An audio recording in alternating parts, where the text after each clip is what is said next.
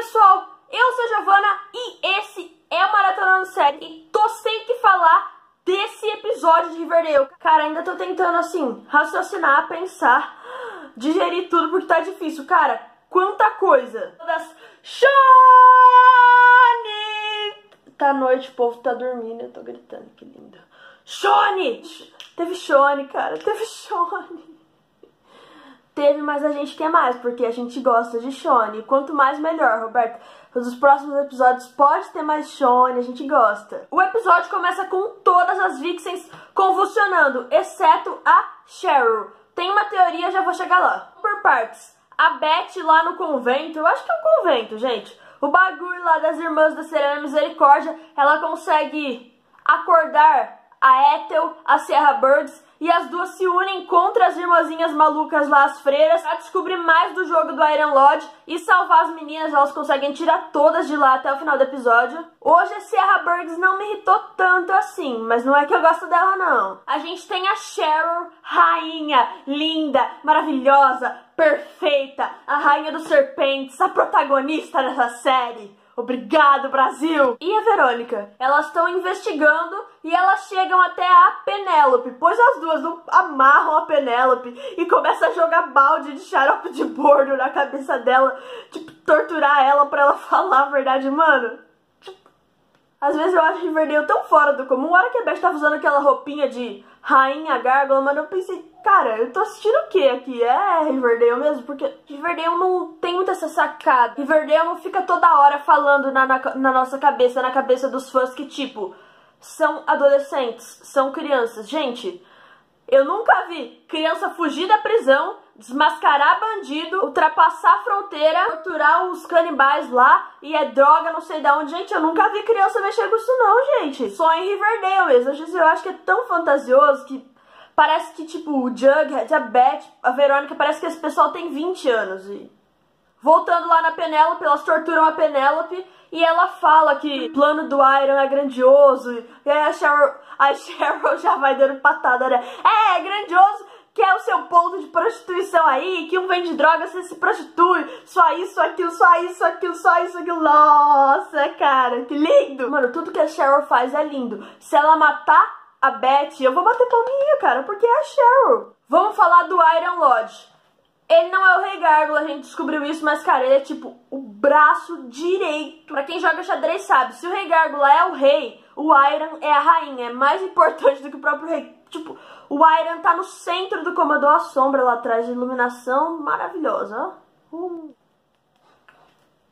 E a gente descobre que o prêmio do jogo é a cidade, é o reino, o o Iron se institui um rei, ele quer o reino, ele quer Riverdale pra ele. E o Iron e a Hermione estão tramando, e a Hermione não é tão inocente quanto a gente pensa. Quando a Verônica tá acordando lá na casa deles, ela ouve eles falando, e a, e a Hermione chegando no não, porque não era pra ter acontecido com a Verônica. A minha teoria que eu tinha falado lá no começo, a Cheryl foi a única que não convulsionou. O Iron arrumou um jeito de infectar as meninas de algum jeito pra elas convulsionarem. E uma não convulsionou, que foi a Cheryl, mas na verdade, eu acho que eles se enganaram na hora, sei lá, de infectar elas, e quem era pra não ter convulsionado era a Verônica, e, e a Cheryl ter convulsionado também. Outra coisa, gente, a Evelyn Evernever não tava nessa. Todas as confusões que tiveram até agora estavam associando a Evelyn Evernever e ao pessoal da Fazenda, mas dessa vez não tinha Evelyn Evernever. Dessa vez foi tramóia do Iron. Mano, pra mim tá muito óbvio, pra mim tá muito nítido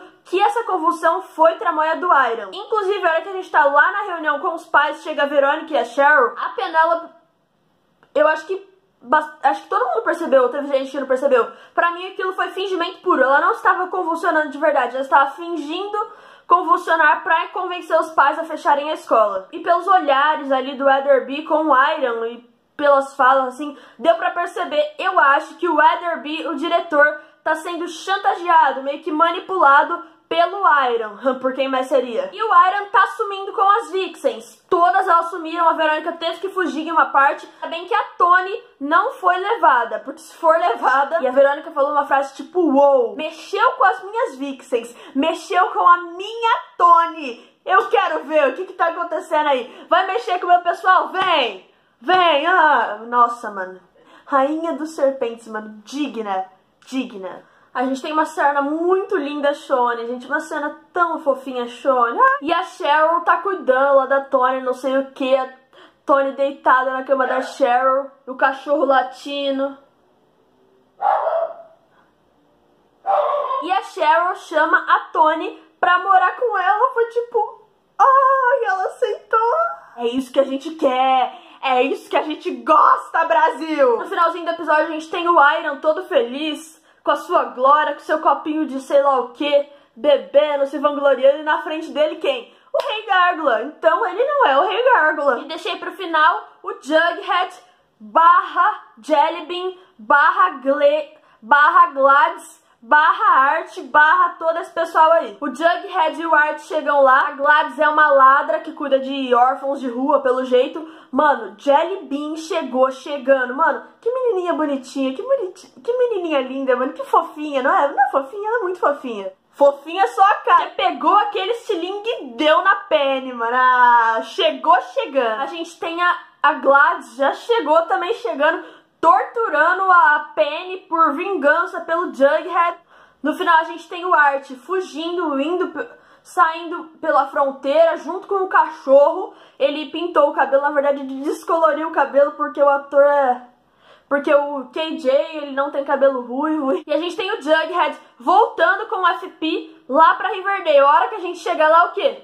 Cidade de quarentena, por que não? Nossa, por que não? Claro, lindo, óbvio por que não? não tem mais de Iron fazer. Ah, tô sem de fazer aqui, mano. Ah, não sei. Eu acho que eu vou lá interditar a cidade. Mas é bom o Jughead e o FP terem ficado pra fora. Pelo menos eles estão seguros e eles vão poder fazer alguma coisa mais pra frente pra poder salvar o pessoal que tá lá dentro. Tem uma coisa que eu esqueci de falar. Verônica e o Red estão sempre juntos. Não teve aquela troca de olhares que nem teve no episódio passado. Não teve aquele climão. Mas assim, eles estão bem amiguinhos e isso me preocupa. Acabamos o último episódio do ano como? Cidade interditada. A Iron Lodge é braço direito do Rei Gárgula. Outra, a Ellie está junto com a Beth e vai ajudar a levar as meninas para algum lugar, com certeza, pelo visto. E esse foi o último episódio do... E esse foi o... Nossa, o último episódio do ódio. E esse foi o último episódio do ano de Riverdale. O que você achou desse episódio? Quem é o Rei Gárgula, cara? Eu tô suspeitando, será que é um ser sobrenatural mesmo? Existe alguém acima do Iron capaz de ser o Rei Gargo e manipular o Iron? Porque vocês viram que o Iron tava falando até, eu não lembro que se ele falou com o presidente, é governador, alguma coisa assim. Ou seja, o Iron tá lá em cima no topo da cadeia. Quem tá acima do Iron pra dominar ele, pra dominar a Riverdale, pra dominar tudo? Veremos nos próximos capítulos de Riverdale. O que, que você achou desse episódio? Deixa aqui nos comentários. Se você gosta de Riverdale, se inscreve aqui no canal e ativa o sininho. A gente sempre tem análise de todos os episódios. E agora, como o Riverdale está em hiato, só volta o ano que vem. Conforme forem saindo spoilers ou notícias, a gente vai trazendo as novidades aqui. Deixe seu like, compartilha muito esse vídeo com seus amigos e nas suas redes sociais. Bom, é isso aí, é nóis e fui! Uh!